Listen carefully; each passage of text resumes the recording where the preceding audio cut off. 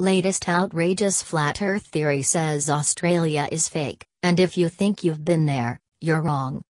Flat earthers say the country is the biggest hoax ever created. There's a growing number of people who seem to think the world is, in fact, flat. But it gets better.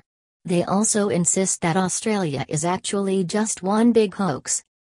According to a viral Facebook rant, the entire country, and presumably the 24 million people that live there, is completely fake.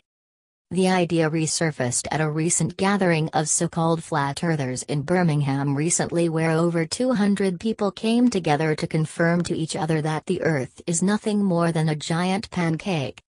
The origin of the fake Australia post started on Reddit back in 2017 and was written by a Shelley Floryd but it appears to be back in the minds of the spherically challenged at the moment.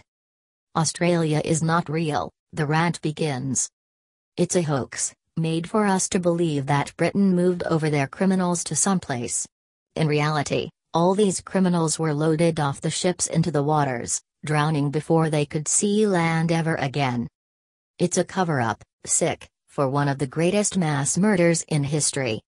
Moreover, the Post reckons that all Australians are nothing more than computer generated personas, and if you've ever been down under yourself, you're terribly wrong.